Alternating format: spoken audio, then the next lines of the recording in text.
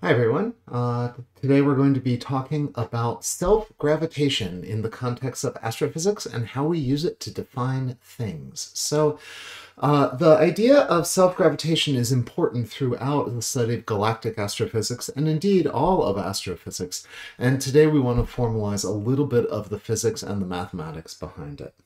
Uh, the really important thing that we have here in galaxies uh, is the idea that self-gravitation gives us a way of defining a thing in astrophysics in a physically meaningful sense. So I show two things here that uh, make up a galaxy. On one hand, you have a star, and you can say, oh, I'm pretty sure I understand what a star is and where I will find uh, stars. So uh, the star here is, you know, a self-contained entity, and you can talk about the inside and the outside defined with respect to the photosphere.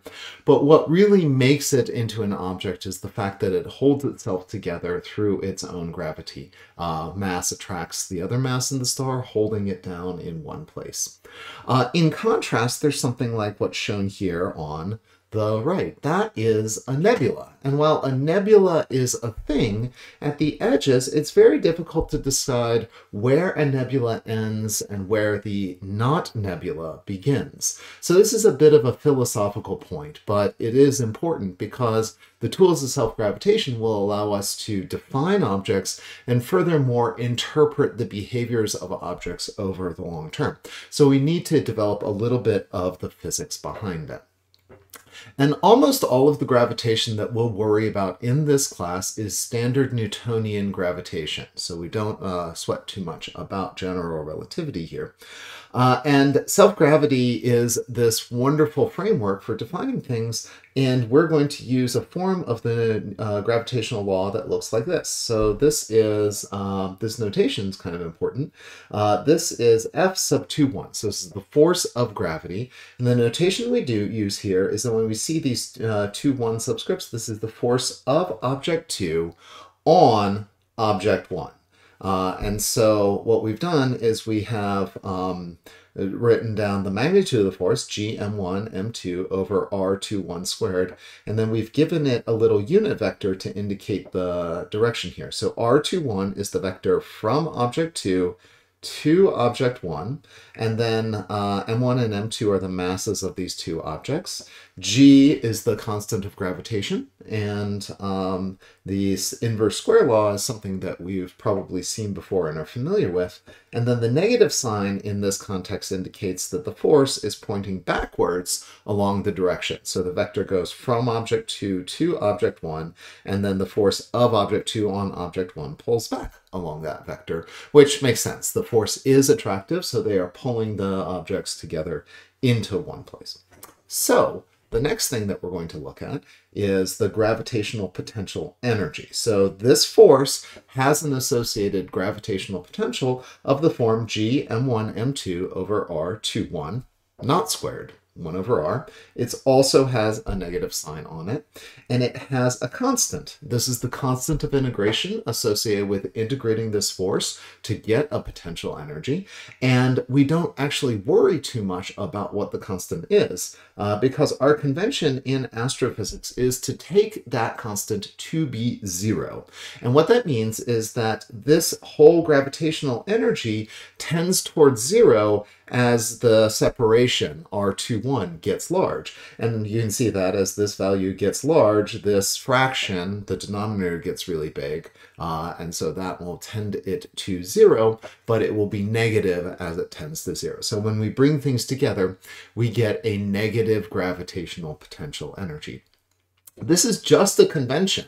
Uh, the actual, uh, the only physical thing that a potential energy uh, means is a difference in potentials. And when you consider a difference in potentials, these constants fall out. So we don't actually care about what the constant is. If we want to do physics, it's just that this convention makes our math easy and drops out a bunch of terms that we don't really uh, worry about or care about. Okay, so given that potential energy, we want to define the gravitational binding energy of an object. And so this is the energy not considering a, you know, pairs or sets of objects, but really considering an object made of individual components. And we need to figure out how much energy it would take to pull that object apart uh, to infinity. So separate its constituent parts uh, into, uh, separate its constituent parts out uh, to infinity, how much energy would we have to put into the system to get to uh, get it infinitely part, pulled apart? And we do that by calculating the potential energy of assembly uh, as these objects come together and brought together. And so I'd like to carry out that calculation for this object here. It's just a triangle, equilateral triangle made of three masses, M1, M2, M3, and they are separated by a side length S. Now, when we calculate the assembly, we imagine first bringing in mass 1, then bringing in mass 2, and then bringing in mass 3. And so the self-gravitational energy uh, from bringing in mass 1, u sub g, for mass 1 is going to be 0. It just shows up there. It's not interacting with anything. There's no associated gravitational potential energy from bringing it in. However, when I bring in the second mass, UG comma 2, I get the gravitational binding energy from the first uh, mass being uh, connected to the second mass by the force of gravitation, and I get the energy out. And then when I configure it into these two positions with M1 and M2 separated by a distance s, what I get is uh, that, that that gives me a contribution of energy, G, M1, M2 divided by s. Finally, I want to bring in the gravitational energy for source 3, or for mass 3. And when I bring that in, it comes in and then it joins the other three in this nice equilateral triangle. But when it comes in, it has a gravitational interaction with mass 1 and also with mass 2. And so what that means is that we get a gravitational contribution, G, M1, M3 divided by S, and we also get a gravitational contribution from interacting with mass uh, 2. So we get G M2 M3 divided by S. Oops, I've had two negative signs in there. That won't do. Uh, so that's M3. And so the total gravitational energy of this system is uh, the term from uh, basically the sum of all three of these and so we add them up and we get that the total gravitational binding energy for the system is negative g over s. I'm going to factor that out of all three terms. m1, m2, that's the first term up there, uh, my, uh, plus m1, m3 plus m2, m3. So that's kind of a neat little pattern is that even though we had nothing from the first term, we end up kind of catching up in terms of interactions. So we get every possible mass interacting with every other mass in the system, and that makes a contribution to the gravitational binding energy.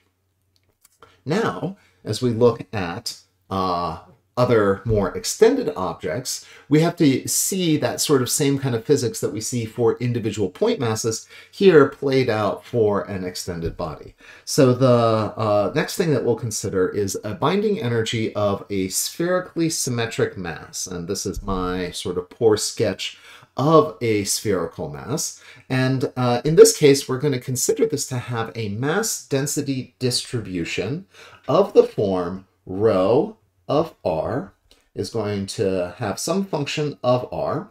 And so it's going to be a mass density uh, represented uh, at separation from the center. Uh, I could also write this as the sort of scale variable s as we uh, see it here. And this object is going to have mass, total big M, and total radius uh, big R. And so we'll use R and S uh, as variables inside the sphere, and then big M and big R are going to be the total object. Now, I don't know what this mass density is going to be. It can be any functional form. We're going to assume it's spherically symmetric, so there's no angular, like latitude or longitude coordinates uh, in this. It's just a one-dimensional function. And we want to calculate up what its binding energy is. And uh, this is essentially, it looks, it may look bad, but is exactly what we did before. Uh, so what we do is we consider the contribution from bringing in a single thin spherical shell of mass of radius s and thickness ds. So there's radius s, thickness ds. I can even bring it back and show it to you on big screen. Uh, and we're bringing that in, and we're going to consider its contribution adding up all uh, from falling down on top of all the mass that's already there. And so that's basically the mass in this interior section there. So inside that mass is the mass uh, up to that radius. And we consider the contribution to binding energy from that thin spherical shell to be G times the M of r, and so that's the mass that goes out to a radius r, little r, divided by the tiny little bit of mass dm, and uh, divided by uh, 1 over r, which is the size of whatever shell we're dropping it onto. Now, you might ask, what is the mass of a thin spherical shell like this? So what is the mass of that object? Well, it's a sphere, so we say, okay, the little bit of mass in that uh, thin spherical shell is going to be dm, is going to be the surface area of a thin spherical shell. So that's going to be 4 pi. As I've drawn it here, I'm going to call it s squared. So surface area of sphere is 4 pi r squared. This radius will be s. So that's uh, 4 pi s squared. And then it's going to basically be the thickness of that. So it's essentially, if we flattened it all out, this would be basically a height uh, of the volume. So it's the third dimension. So I call that ds. And then this entire term here is the volume of that thin spherical shell. And if I know the thin spherical shell, I can then multiply it by the mass density rho of S. And that's the total mass. So mass times volume is the little bit of mass in that shell. Critically, we assume that the shell is thin enough, first off, that this variable uh, functional form for the volume holds. Uh, and then we also assume that the rho sub S is constant in the shell. That's uh, the key point. So constant in the shell. Uh, and that gets us the ability to really uh, do some calculus uh, on this. But that thin, uh, that thin shell approximation means that we can treat that as the constant and use this form for the integral. So this little bit of dm is uh, the volume of the shell times its mass density. But the mass inside the shell, this region here where we're falling down onto, has already been built up from a bunch of thin spherical shells. And so we can actually figure out how much mass is already there uh, in there. So if I was going to consider, uh, I consider that a variable, I call that m of r. So it's basically the mass interior to a radius r in a uh, sphere. And that is the integral of the masses of the shells up to that radius. So if I was considering the whole object, I would integrate out to a big radius of big R. And so my uh, integral would be 4 pi s squared times rho of s times ds. So that would be uh, that would get me a uh, that would get me the thin spherical uh, shell built up to give me uh, the total mass of the object. And so we now know all of the terms inside this little differential gravitational binding energy. So what I'm going to do is I'm going to integrate that from 0 to m. Basically say, all right, start with bringing in a thin spherical shell when there's nothing there, and then drop something, a thin shell on top of that, and that's going to give me a contribution of this uh, magnitude. And then we're going to build up larger and larger uh, parts of the mass, and so the m of r will be increasing, and my thin spherical shells will be uh, coming in and dropping onto it. And so that's going to give me a functional uh, integral that's going to look a little like this. So I can calculate the total gravitational energy from the energy from every shell dropping onto it. And uh, from there, I can uh, go ahead and write this m of r as a uh, sum of the spherical shells up to that point. So that's integral 0 to r of a dummy variable, s, which is why I introduced s earlier, 4 pi s squared rho of s. So whenever I give you a problem that looks like calculate the gravitational binding energy of a object, this is the integral you go to. It kind of looks gory, uh, but it almost always follows the same pattern. And I'd like to sort of walk through the parts of it. First on sort of thinking about what the mass is, and then uh, thinking about how to turn that into the gravitational binding energy. So let's get started. Let's first calculate what m of r is for an object with a uniform density. So I'm going to do the easy one and let you all have some fun with calculus on the, uh, let's say, more interesting ones. So this just means that this solid sphere has a mass density of rho, and you could look at this answer and you say, okay, well, what's the ma total mass of this object if it has a uniform density? And we'll call that, for our purposes, let's give it a variable name, rho naught. And then you can just say, well, the mass of the total object is going to be the density times the volume, and it's a shell or it's a sphere of radius big R. And I, I've learned calculus. I, know that that's 4 thirds pi big R cubed times rho naught. So that gives me the mass of the object. And I just want to show you that the relationship we're going to use is going to do the exact same thing. Uh, so m of r is this uh, integral here. And what I can do is I can plug in this rho uh, naught for a function of s. And so the non-trivial uh, kinds of approaches uh, take this to be an interesting function for rho of s. But what we're going to do is we're just going to add up, okay, we're going to say that this is m of r is equal from integral of 0 to r 4 pi s squared rho naught times ds. And then I'm going to pull out all my constants just to keep things neat and we'll go integral 0 to r uh, s squared ds. And so that's an integral that I can do, 4 pi rho naught. Uh, and that goes to s cubed over 3, evaluated at 0 and r.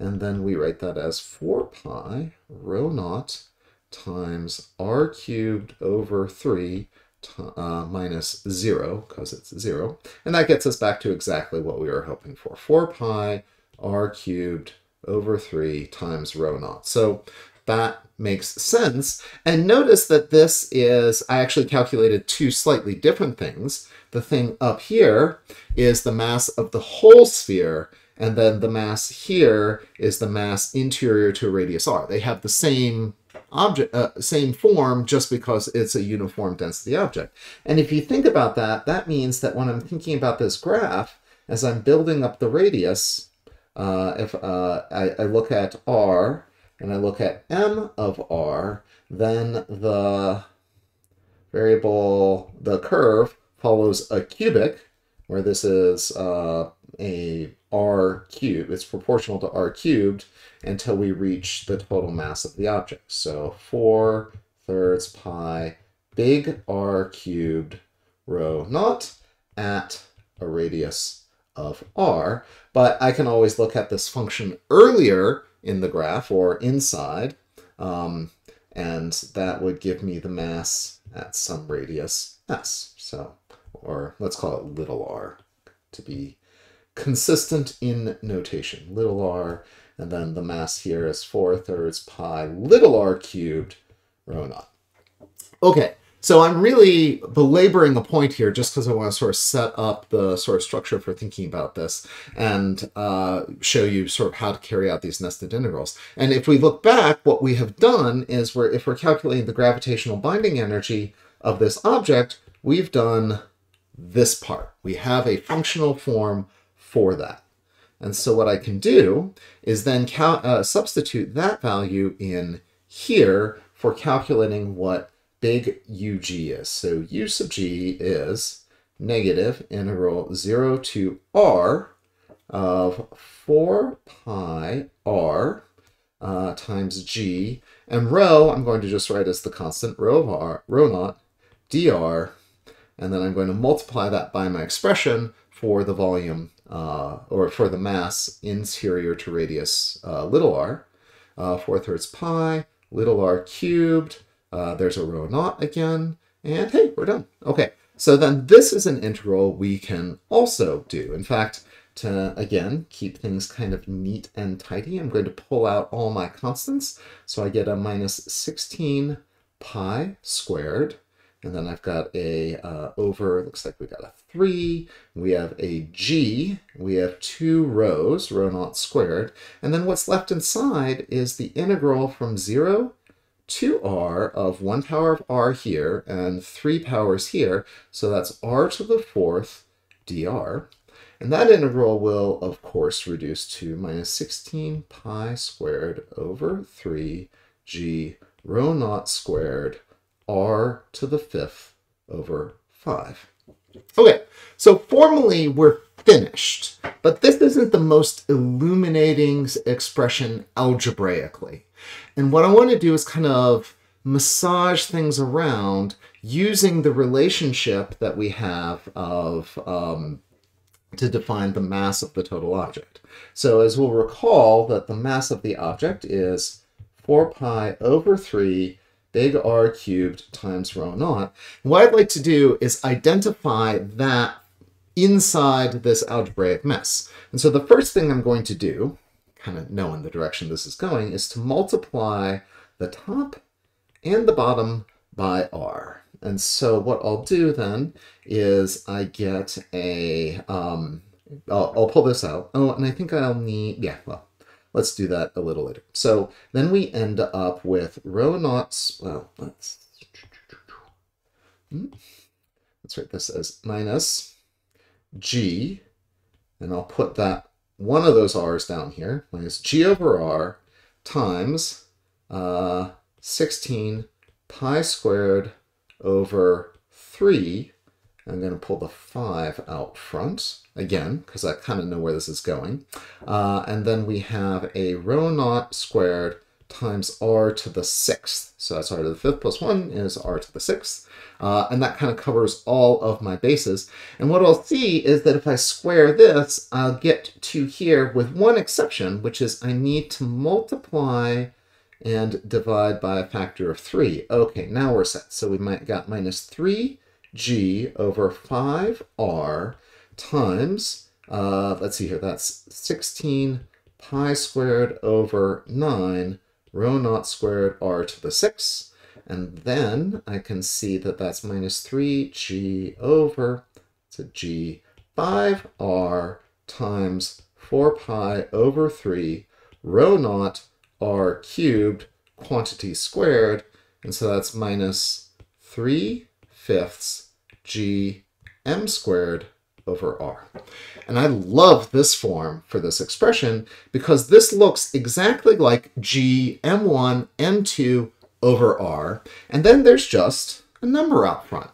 And that number out front is this dimensionless form factor that depends on the mass distribution. So it's really kind of nifty. This looks just like Newtonian gravitation, g m1 m2 over r, potential energy of the whole system. Notice it's m squared though. And that's because all of the mass is interacting with all of the other mass, and that 3 fifths basically tells you, on average, how far apart is everything if I was going to carry out that integral to kind of add up the little bits of uh, mass uh, together here.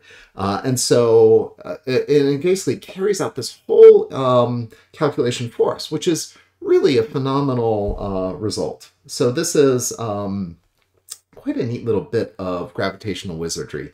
And we'll always get an answer that looks like gm squared over r, uh, and then there'll be a number out front. And it might be 3 pi over 4, it might be 2, it could be any kind of up uh, number, but everything goes with gm squared over r. And so if we estimate the binding energy of an object, we'll often just write down gm squared over r as the binding energy with a negative out front, and then put, you know, some factor in there later when we do all the calculus. Okay, so that was a long kind of derivation of how to do this calculation of whether an object is self-gravitating or not. And so what we want to figure out is, uh, well, if we know how to calculate the gravitational binding energy, to answer whether it's uh, self-gravitating, we just have to ask whether the total energy of the system is zero. So gravitation binding energy, always negative by our convention. We could add a constant on it, but we're not going to. Uh, then we consider the total energy of the system, and almost always the important energy term uh, that we can compare that to is the kinetic energy. So the 1 half mv squared for all of the objects in the system, uh, etc. So what we'll say is that an object is self-gravitating if this total, gravitational plus kinetic, is less than zero. And so that would imply, if it's less than zero, that the binding energy is larger than the kinetic energy. And so self-gravity will keep this object together on average. Now, this doesn't mean like if I have a star cluster that's self-gravitating that uh, every star will always stay attached. The particles in a star cluster, sorry, the stars, uh, can exchange energy and one object can lose energy and another object can gain energy and get thrown out of the star cluster. So on average, the whole system will stay together, but individual parts of it may not. So we'll study this so much more when we get into dynamics, but for right now, the important thing is that when we balance the uh, these two, or when we add these two terms together, if it's less than zero, that gives us a self-gravitating object. And remember, the reason why we're doing this is this is a way that we define a physically meaningful object. Is it self-gravitating? So that is what I want to say about self-gravity.